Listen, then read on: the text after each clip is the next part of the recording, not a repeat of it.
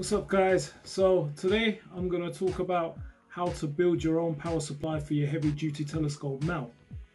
Now if you've gone out and you've bought yourself that go-to mount and it's really good and it's really heavy and it needs power so what you're going to do? Well you've got two options either you could buy a car booster pack which you could use to power your telescope mount or you could go buy the Skywatcher power tank which is going to probably run you about 100 quid or so. Or you could do the really cool thing which I did and build your own. Here we go.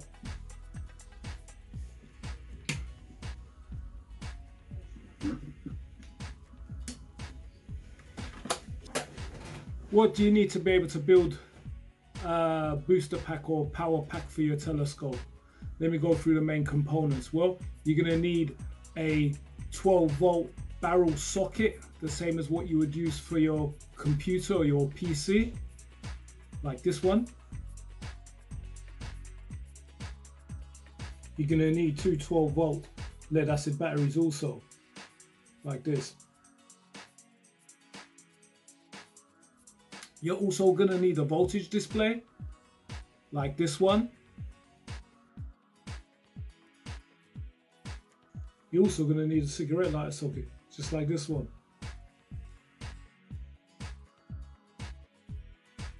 You're also going to need a DC to DC step down buck converter, like this one.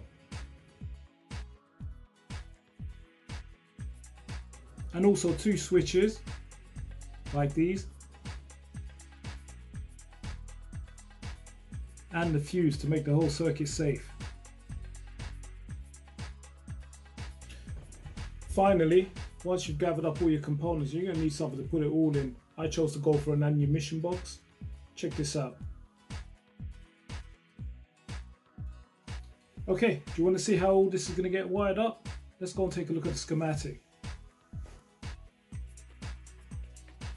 Okay, so You've got two batteries, they're both wired up in parallel and they're 12.7 volts, 7.5 amps each. Make sure they're the same battery type and the same, they have the same characteristics because you can't mix up batteries for this. They're going to be wired up in parallel, so that means negative to negative, positive to positive. Okay, when you wire up batteries like this, you're going to double the capacity, so the system's no longer going to be 7.5 amps an hour, but it's going to be 15 amps an hour, which means you're going to be able to run your system for a lot longer.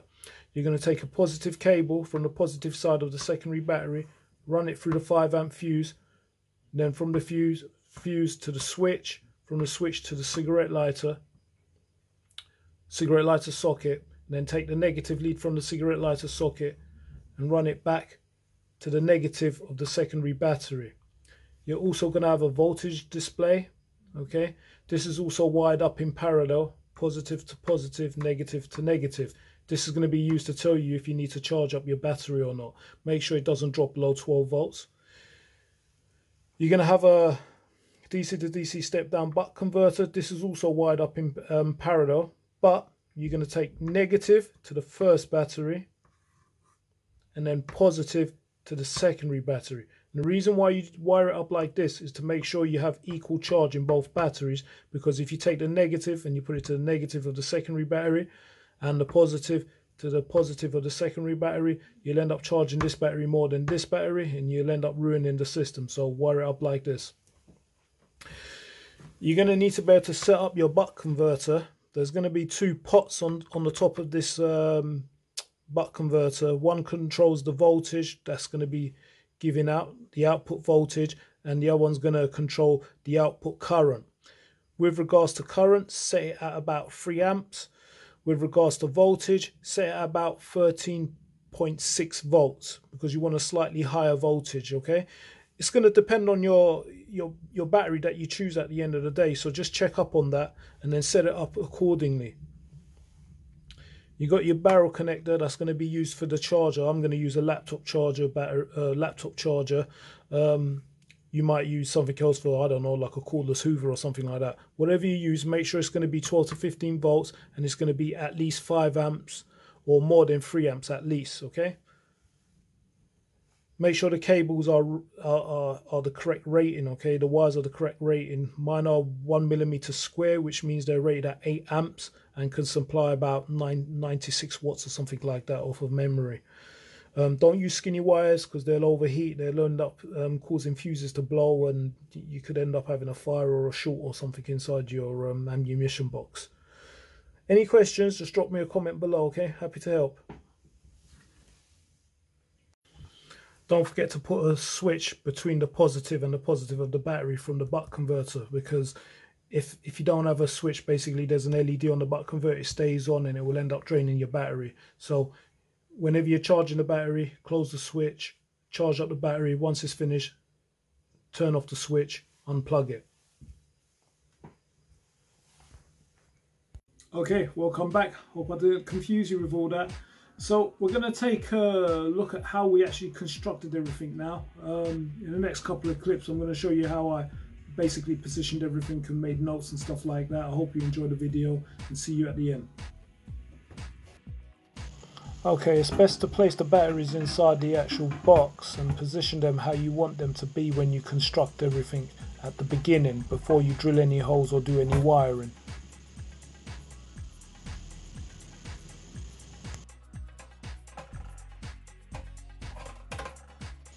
Here you can see me taking the actual measurements and making notes of um, how much room I have inside the actual box.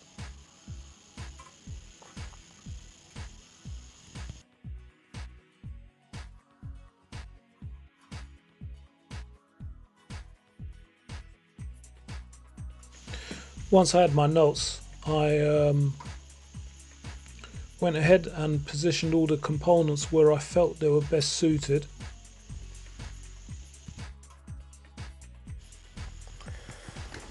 So I went and um, drilled all the holes.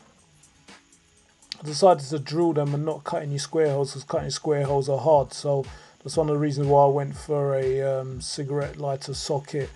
Um, voltage display instead of something else. I went and sprayed the box white just to make it look more nicer and um, at this stage I basically put everything into place and started to wire everything up. Once everything was in the box and wired up I decided to set up the um, buck converter. I basically set it up to 3 amps and about 13.7 volts.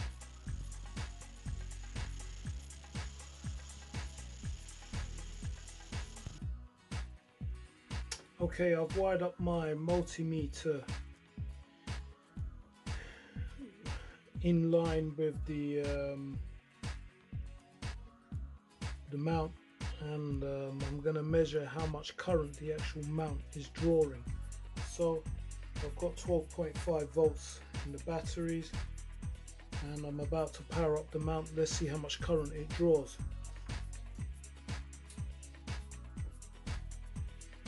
So just by powering up the mount, it's running 8 milliamps, just powering it up. Oh, so it's point, point 0.3, 0.40, 0.39 to 0.40 amps. So just, just under half an amp. I'm going to pretend to align the mount.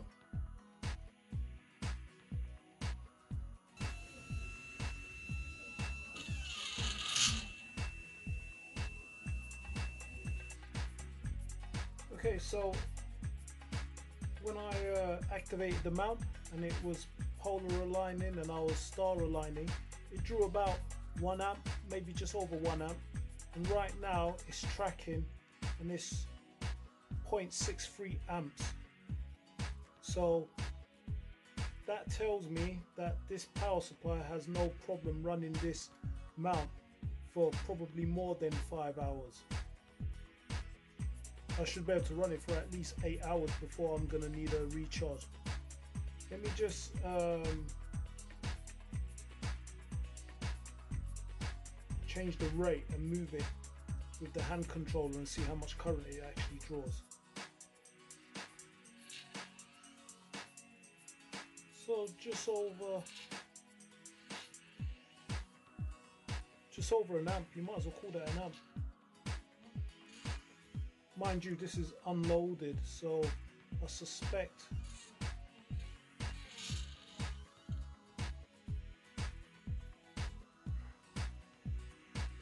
it may use a little bit more current when there's uh, a weight on it but it's not going to be that much. I'm happy with that. Okay let's switch it off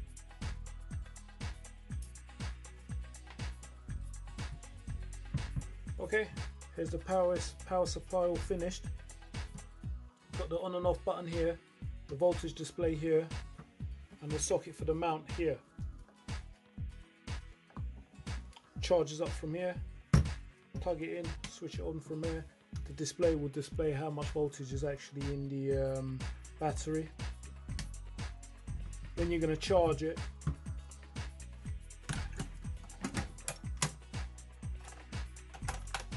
plug in the charger here. Switch the switch. When it's blue it's still charging. When it turns green it will mean it's fully charged. I've just done this up temporarily because I'm going to do a few more things but I'm going to show you that in a later um, video. I don't want to put everything into this video because it's going to end up being too long. But I'm going to end up putting some um, pulse width modulation control units in there as well to control dew heaters. But I'll do that in a separate video so stay tuned